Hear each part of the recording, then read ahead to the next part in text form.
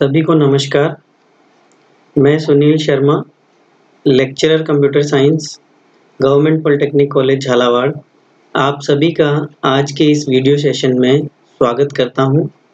उम्मीद है आप सभी अपने घरों पर स्वस्थ होंगे एवं आनंद से रह रहे होंगे और विद्यार्थियों से मैं उम्मीद करता हूँ कि वे अपने एग्ज़ाम्स की तैयारी भी अच्छे से कर रहे होंगे, पढ़ाई पर ध्यान दे रहे होंगे।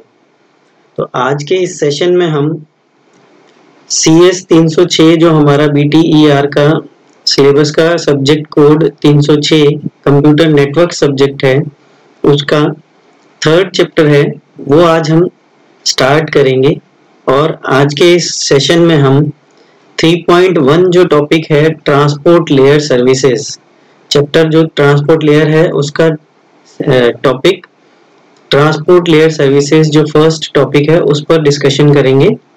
पहले हम इस अध्याय के, इस चैप्टर के जो कंटेंट्स हैं, उन पर एक नज़र डाल लेते हैं।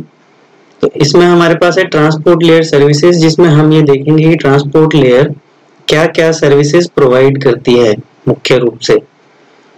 फिर 3.2 में हम देखेंगे कि ट्रांसपोर्ट प्रोटोकॉल के मैकेनिज्म्स जो ट्रांसपोर्ट लेयर प्रोवाइड करती है, वो किस तरह से करती है, जिसमें हमारा एड्रेसिंग मल्टीप्लेक्सिंग यानी कि एड्रेसिंग किस तरह से होती है मल्टीप्लेक्सिंग किस तरह से होती है कनेक्शन स्टैब्लिश कैसे होगा रिलीज़ कैसे होगा, क्योंकि ट्रांसपोर्ट लेयर का काम होता है कनेक्शन स्टैब्लिश करना। फिर रिलायबल डिलीवरी कैसे होगी, क्योंकि ट्रांसपोर्ट लेयर हमारी दो तरह की सर्विसेज़ प्रोवाइड करती है रिलायबल और अनरिलायबल वो अभी हम आगे देखेंगे इस चैप्टर में। Then flow control and buffering कैसे प्रोवाइड करेगी। फिर हम टीसीपी और यूडीपी जो अभी मैंने बात की कनेक्शन ओरिएंटेड और कनेक्शन लेस इन दोनों सर्विसेज़ के बारे में पढ़ेंगे इस अध्याय में। और टीसीपी के पूरा डिटेल में पढ़ेंगे हम कि उसका एडर फॉर्मेट क्या होता है कनेक्शन मैनेजमेंट किस तरह से होता है, और टीसीपी कंजेशन कंट्रोल किस तरह से होता है, और टाइमर मैनेजमेंट किस तरह से होता है। तो ये हमारी इस चैप्टर की आउटलाइन है। और आज के सेशन में हम ट्रांसपोर्ट लेयर सर्विसेज़, जो टॉपिक है हमारा 3.1 उसका अध्ययन करेंगे।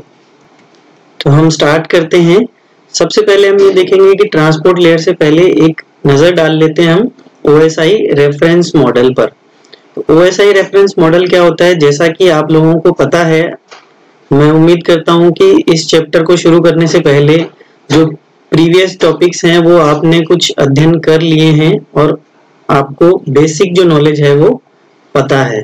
फिर भी एक छोटा सा हम रिव्यू डाल लेते हैं कि ओएसआई रेफरेंस मॉडल क्या होता है हमारा? Open system interconnection reference model वह मॉडल है जो कि आईएसओ इंटरनेशनल स्टैंडर्ड्स ऑर्गेनाइजेशन ने प्रोवाइड किया था कि किस तरह से जब हम कम्युनिकेशन करेंगे तो उसके लिए हमको क्या करना है और किस तरह से करना है। उम्मीद है जो आप डिटेल में पढ़ चुके होंगे फिर भी एक बार मैं रिवाइज करता हूँ, सबसे नीचे से अगर हम शुरू करें तो पहली लेयर होती है फ़िज़िकल लेयर जिसका काम होता है फिजिकली कनेक्शन प्रोवाइड करना। डेटा लिंक लेयर का काम होता है नोड टू नोड डिलीवरी से रिलेटेड नेटवर्क लेयर का काम होता है source to destination transport layer का काम होता है end to end delivery session layer का काम होता है सेशन को बनाना मेंटेन करना।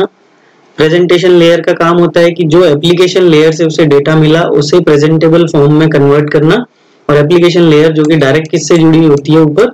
यूज़र से जुड़ी हुई होती है। तो सेंडर साइड पर क्या होता है? यूज़र का जो डेटा है वो एप्लीकेशन लेयर पर आता है एप्लीकेशन लेयर उसे प्रेजेंटेशन लेयर को भेजती है और इस तरह से ये फ्लो होता है। सेंडर की साइड पर, जब सेंड करते हैं और रिसीविंग साइड पर क्या होगा? सेम इसी तरह से जो लेयर्स होंगी हमारी उसमें फ्लो किस तरह से होगा? नीचे से ऊपर की तरफ़ होगा। ठीक है? इसका डिटेल आप ओएसआई रेफरेंस मॉडल से रिलेटेड जो टॉपिक है वो आप पढ़ के कर सकते हैं। हम आगे बढ़ते हैं। हमें डिस्कशन करना है आज ट्रांसपोर्ट लेयर का। तो ट्रांसपोर्ट लेयर में जैसे कि हमें पता है ट्रांसपोर्ट लेयर क्या करती है, अभी मैंने आपको बताया कि फोर्थ लेयर होती है किसकी? ओएसआई रेफरेंस मॉडल की। First one two three and four तो ये फोर्थ लेयर होती है और इस मेनली रिस्पॉन्सिबल किसके लिए होती है? End to end communication over a network यानी कि किसी भी नेटवर्क पर एंड से एंड तक एंड से एंड का मतलब क्या हुआ कि जिस एप्लीकेशन ने जनरेट किया था डेटा उस एप्लीकेशन से लेकर जो एप्लीकेशन इसके लिए रिस्पॉन्सिबल है लास्ट जैसे आपने कोई ईमेल भेजी तो ईमेल आपने किससे भेजी? ब्राउज़र से आप भेजोगे तो उसका दूसरा एंड क्या होगा? सोर्स एंड तो क्या हुआ इसका? ब्राउज़र ये सोर्स है हमारा सोर्स नोड और अगर मैं इसको कहूँ कि ये डेस्टिनेशन नोड है तो इसकी रिस्पॉन्सिबिलिटी जो है ट्रांसपोर्ट लेयर की, वो क्या है कि जिस एप्लीकेशन ने इसे जनरेट किया है, जैसे ब्राउज़र से ईमेल जनरेट हुई तो वो डेस्टिनेशन पर ब्राउज़र तक पहुंचनी चाहिए। ये होता है हमारा एंड टू एंड जो यहाँ पर हमने लिखा है कि end to end communication data link layer का काम होता है नोड टू नोड यानी कि एक नोड से दूसरी नोड नेटवर्क में जैसे कि हमें पता है बहुत सारी नोड हो सकती हैं जिनसे होकर डेटा जाएगा तो एक नोड से दूसरी नोड तक ये रिस्पॉन्सिबिलिटी होती है डेटा लिंक लेयर की. फिर नेटवर्क लेयर की होती है सोर्स से डेस्टिनेशन तक, यानी कि यहाँ से लेकर यहाँ तक. अब सोर्स में और डेस्टिनेशन मशीन में जो डिवाइस होगा, हमारा सोर्स या डेस्टिनेशन उस डिवाइस में एक साथ एक से ज़्यादा एप्लीकेशन रन हो रही है. जैसे ईमेल भी ओपन कर रखी है, आपने मीडिया प्लेयर ओपन कर रखा है, एक और दूसरी कई तरह की एमएस ऑफ़िस ओपन कर रखा है। तो किस एप्लीकेशन को उसमें से वो रिसीव होना है या पहुंचाना है? ठीक है, ऐसे करके आपने अलग अलग एप्लीकेशन रन कर रहे हो आप। और यहाँ पर भी डेस्टिनेशन पर भी अलग अलग एप्लीकेशन रन हो रही हैं। पर फाइनली यहाँ से अगर ईमेल से जनरेट हुई है तो वो यहाँ ब्राउज़र पर ही रिसीव होनी चाहिए। यानी कि उससे रिलेटेड जो ऐप है उसी एप्लीकेशन पर वो रिसीव होनी चाहिए। तो ये मेनली रिस्पॉन्सिबिलिटी किसकी होती है? हमारी ट्रांसपोर्ट लेयर की। फिर आती है ट्रांसपोर्ट लेयर सर्विसेज़ तो उनको डिस्कस करने से पहले हम जो मेन टास्क हैं, जो मुख्य कार्य हैं हमारी ट्रांसपोर्ट लेयर के, उनके बारे में थोड़ी सी चर्चा करते हैं। तो पहला तो काम है कि ट्रांसपोर्ट लेयर एक ट्रांसपोर्ट कनेक्शन प्रोवाइड करती है। इसको अगर हम पढ़ें तो हमने लिखा है, एक ट्रांसपोर्ट कनेक्शन प्रदान करना, जो कि कम्युनिकेशन सिस्टम के बीच एक एंड टू एंड कनेक्शन होता है। जैसा अभी हमने डिस्कस किया कि जो दो डिवाइसेस होंगे हमारे सोर्स से डेस्टिनेशन उनके बीच एंड टू एंड ये सोर्स है, ये डेस्टिनेशन है, इस पर ये इसका लास्ट एंड है। एंड मतलब सिरा। वो सिरा जहाँ से एप्लीकेशन जनरेट हुई है, यहाँ से लेकर यहाँ तक पहुँचने की पूरी ज़िम्मेदारी किसकी है? ट्रांसपोर्ट लेयर की है। ये सबसे मेन काम है इसका। फिर उसके बाद है कि सोर्स से डेस्टिनेशन तक डेटा के पहुँचने के लिए एक विश्वसनीय, लागत प्रभावी, विश्वसनीय और cost effective reliable and cost effective विश्वसनीय और लागत प्रभावी, यानी कि कि ऐसा कनेक्शन प्रोवाइड करे जो कि विश्वसनीय हो, जिस पर डेटा हम भेजें तो हमें ये विश्वास हो कि ये पहुँच जाएगा, ये कंप्लीट पहुंचेगा डेस्टिनेशन तक। और कॉस्ट इफ़ेक्टिव भी हो, ऐसा नहीं हो कि कॉस्ट बहुत ज़्यादा हो। और इसके अलावा विभिन्न एप्लीकेशन प्रेजेंटेशन और सेशन एंटिटीज के बीच में ट्रांसपोर्ट कनेक्शन स्थापित करना, स्थापित, नियंत्रित और कनेक्शन को बंद करना। यानी कि सोर्स से डेस्टिनेशन की जब हम यहाँ पर बात कर रहे हैं तो यहाँ पर क्या होगा, सबसे पहले कनेक्शन को एस्टेब्लिश करना, यानी कि कनेक्शन बनाना। अभी आगे हम इस चैप्टर को जब हम पढ़ेंगे तो इसमें आएगा हमारा रिलायबल और अनरिलायबल कनेक्शन ओरिएंटेड और कनेक्शन लेस तो कनेक्शन ओरिएंटेड की ही बात करेंगे, जब उसमें डिस्कस करेंगे हम इसको और डिटेल में, कि कनेक्शन पहले यहाँ से यहाँ तक कनेक्शन बनाना पड़ेगा इसको। ठीक है? जब ये कनेक्शन बन जाएगा तो जब तक डेटा ट्रांसमिट हो रहा है सोर्स या डेस्टिनेशन जब तक डेटा ट्रांसमिट कर रहे हैं दोनों, तब तक उसको बनाए रखना मेंटेन करके रखना, और फिर जब डेटा ट्रांसमिशन कंप्लीट हो जाता है तो उस कनेक्शन को क्लोज करना या बंद कर देना। ये कार्य भी किसका रहेगा? हमारा ट्रांसपोर्ट लेयर का रहेगा। अब ट्रांसपोर्ट लेयर की सर्विसेज़ की अगर हम बात करें तो मेनली तीन तरह की सर्विसेज़ इसके अंदर होती है ट्रांसपोर्ट लेयर सर्विसेज़ पहली होती है हमारी टाइप ऑफ़ सर्विसेज़ जो अभी हमने डिस्कस की कनेक्शन ओरिएंटेड और कनेक्शन लेस दूसरी होती है quality of service quality of service में हम हर एक लेयर जो होती है ओएसआई रेफरेंस मॉडल की जब हमने पढ़ा था तो उसमें हमने ये देखा था कि हर एक लेयर ओएसआई रेफरेंस मॉडल की अपने से हायर जो लेयर है, उसको क्या करती है? सर्विसेज़ प्रोवाइड करती है। जितनी भी लेयर्स होती हैं हमारी इसके अंदर, सात। ठीक है? इस तरह से ये जो सात लेयर होती हैं हमारी। हर लेयर का काम क्या होता है इसमें? ये सात। हर लेयर अपने से नीचे वाली और ऊपर वाली दोनों। जब ट्रांसमिशन की हम बात कर रहे हैं सेंड करने की, तब तो नीचे की तरफ़ फ्लो होता है, जैसे हमें पता है। और जब रिसीविंग साइड की बात करेंगे तो ये क्या हो जाएगा? नीचे से ऊपर को फ्लो होगा। और फिजिकली ये क्या होगा? कनेक्टेड होगा किसी न किसी माध्यम द्वारा वायर्ड या वायरलेस मीडियम से ये कनेक्टेड रहेगा। तो इसका रिस्पॉन्सिबिलिटी क्या होती है कि अपने से ऊपर वाली जो लेयर है, उसको सर्विसेज़ प्रोवाइड करना, ये सबसे मेन काम है। तो यहाँ पर टाइप ऑफ़ सर्विसेज़ में क्या आएगा कि जो ट्रांसपोर्ट लेयर है, यहाँ पर जो ट्रांसपोर्ट लेयर है, और ट्रांसपोर्ट लेयर के ऊपर कौन सी होती है? अभी हमने देखा था। दोबारा देखते हैं। नेटवर्क लेयर है ट्रांसपोर्ट लेयर के नीचे कौन सी है? नेटवर्क लेयर और ऊपर की तरफ़ है सेशन लेयर तो जब हम सेंड करने की बात करेंगे कि हम डेटा सेंड कर रहे हैं तो ये किसको सर्विसेज़ प्रोवाइड करेगी? नेटवर्क लेयर को। और जब रिसीविंग एंड की बात करेंगे तो ये किसको सर्विसेज़ प्रोवाइड करेगी? सेशन लेयर को। तो transport layer session network layer और सेशन लेयर दोनों को सर्विसेज़ प्रोवाइड करती है अकॉर्डिंग टू सेंड कर रहे हैं या हम रिसीव कर रहे हैं उसके अकॉर्डिंग तो उन सर्विसेज़ को ये क्या करे? आगे की तरफ़ सॉरी उन सर्विसेज़ में ये क्या होना चाहिए? उसकी क्वालिटी को इम्प्रूव करे। क्वालिटी ऑफ़ सर्विस में वो पॉइंट आएँगे। अभी आगे देखेंगे हम इसको डिटेल में। फिर उसके बाद आता है हमारा कनेक्शन मैनेजमेंट सर्विसेज़ तो कनेक्शन मैनेजमेंट सर्विसेज़ में हमारा क्या आएगा?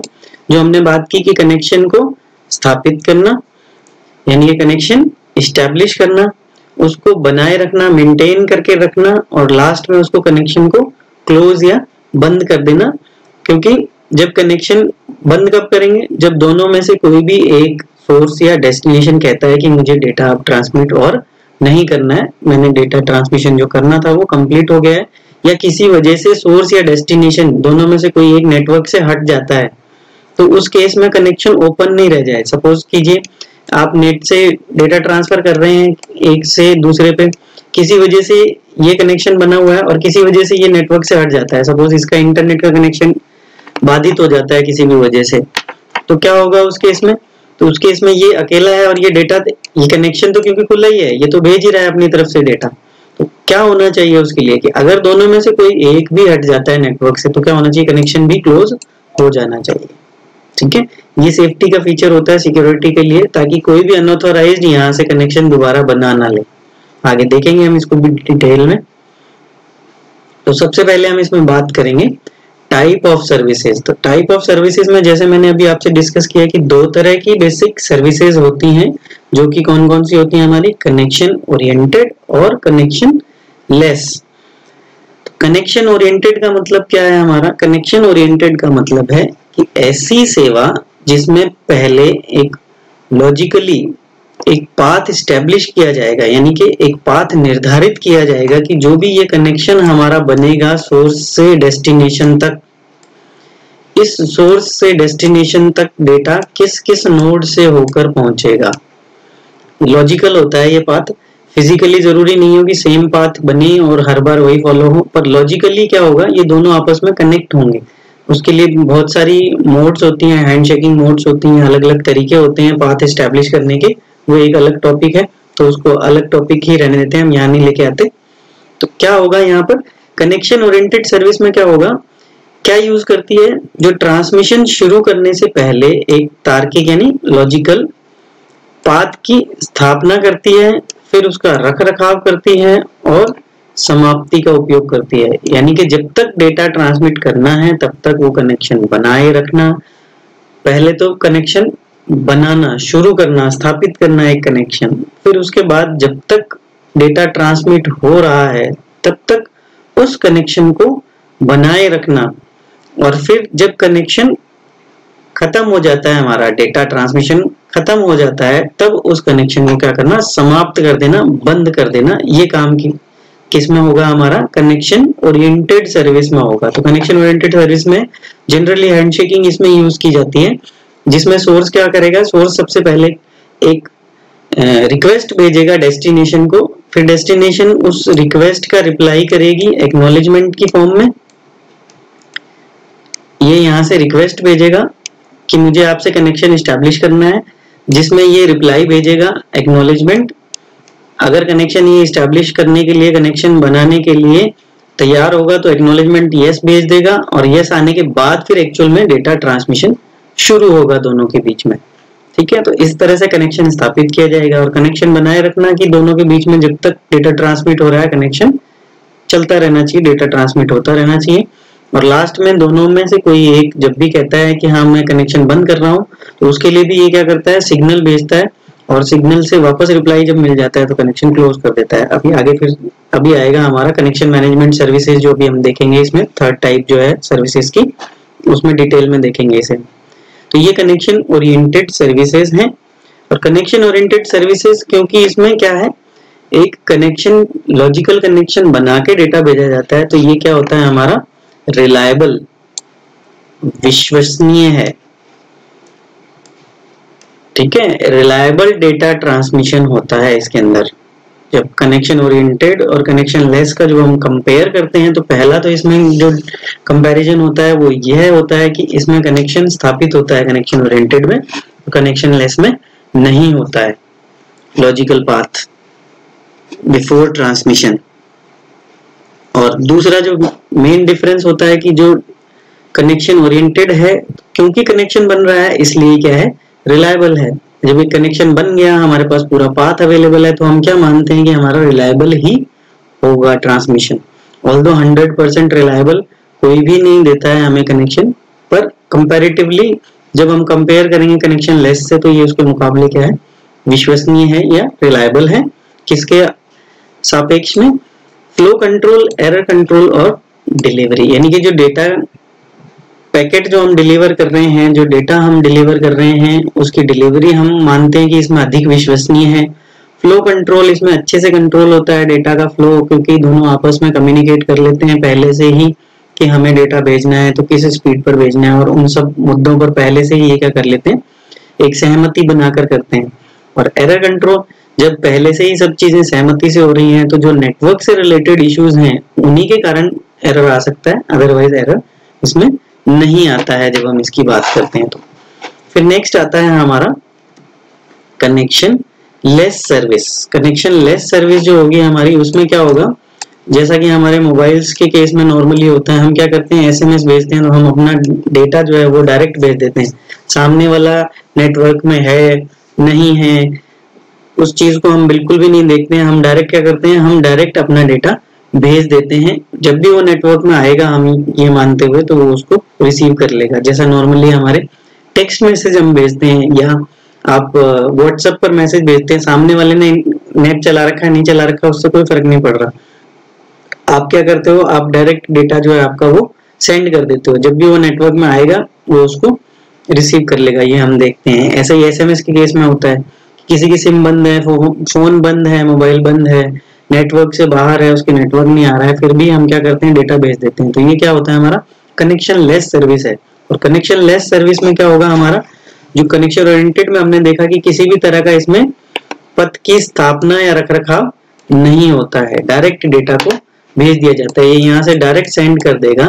अब ये नेटवर्क से होता हुआ अपने आप कब पहुँचा और कैसे पहुँचा, वो अपने आप नेटवर्क मेंटेन कर लेगा उसको।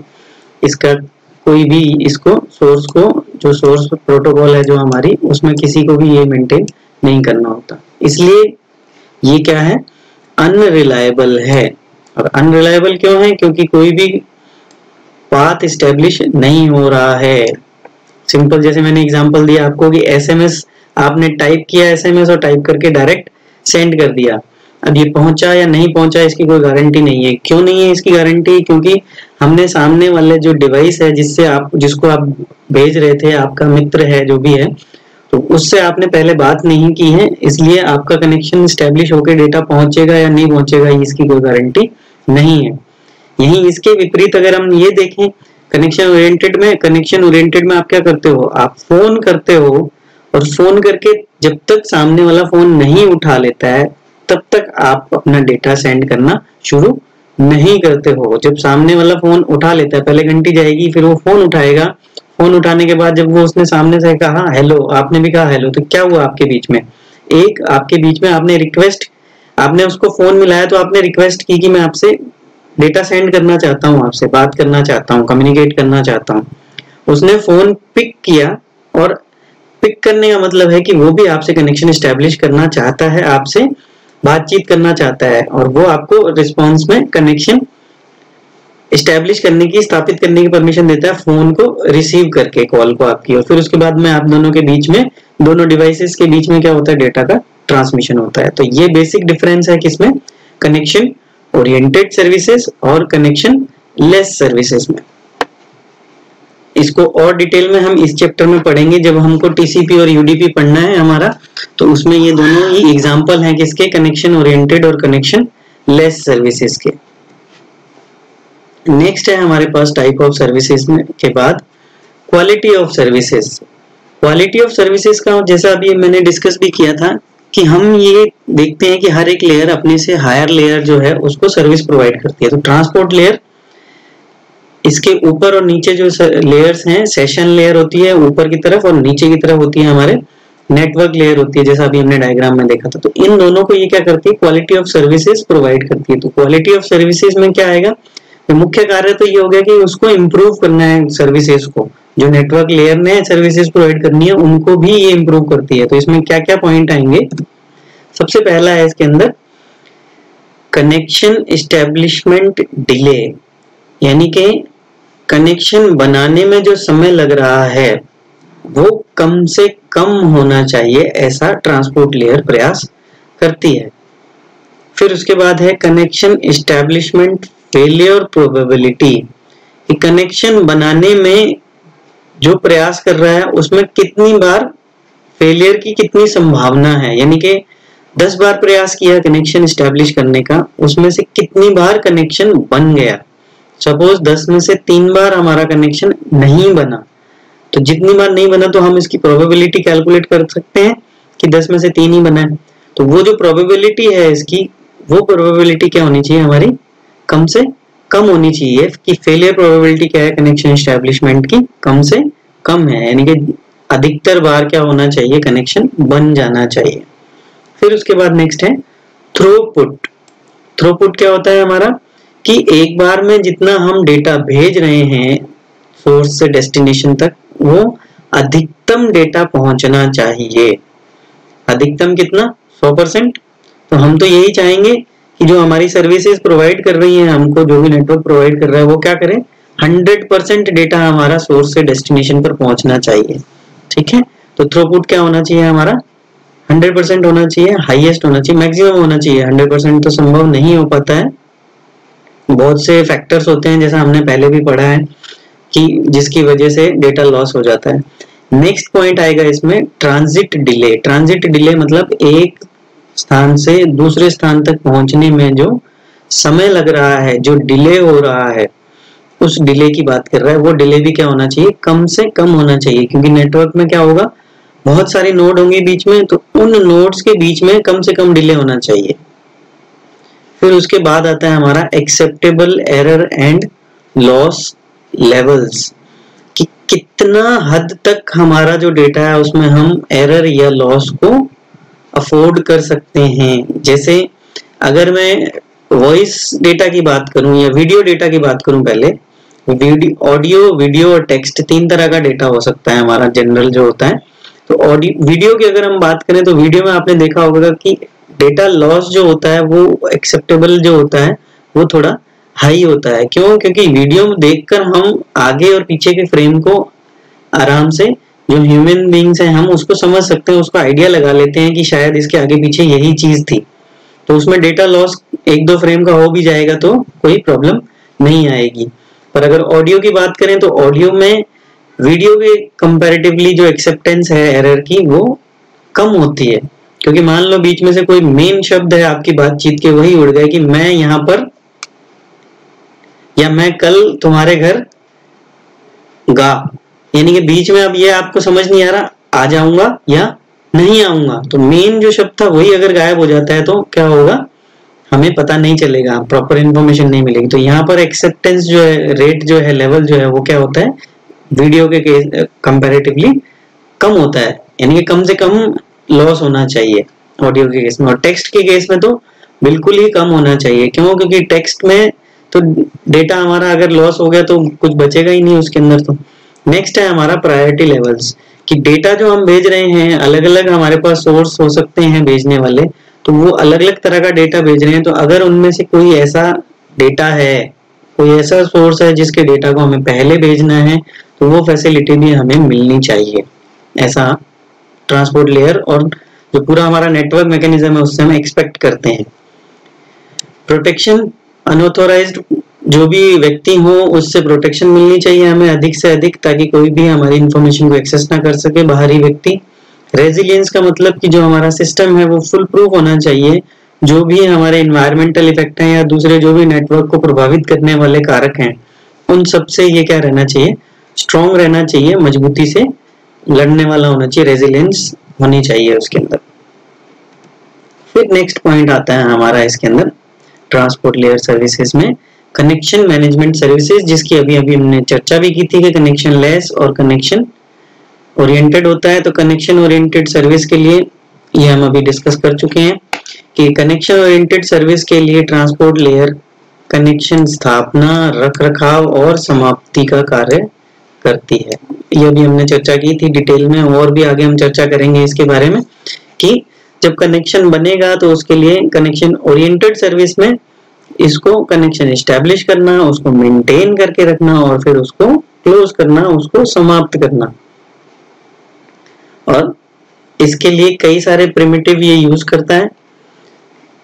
कौन कौन से प्रिमिटिव होते हैं? प्रिमिटिव्स का मतलब यहाँ पर है कि इसके लिए जो कमांड्स ये यूज़ करेगा, जब हम देखेंगे इसको तो जैसे लिसन कमांड है लिसन कमांड होती है हमारी सुनने के लिए। लिसन मतलब सुनना, ठीक है? तो लिसन कमांड का मतलब कि वो लिसन मोड में है, वो उसको सुन रहा है। कनेक्ट कमांड का मतलब कि मैंने भेजा कि मैं कनेक्ट करना चाहता हूँ आपसे।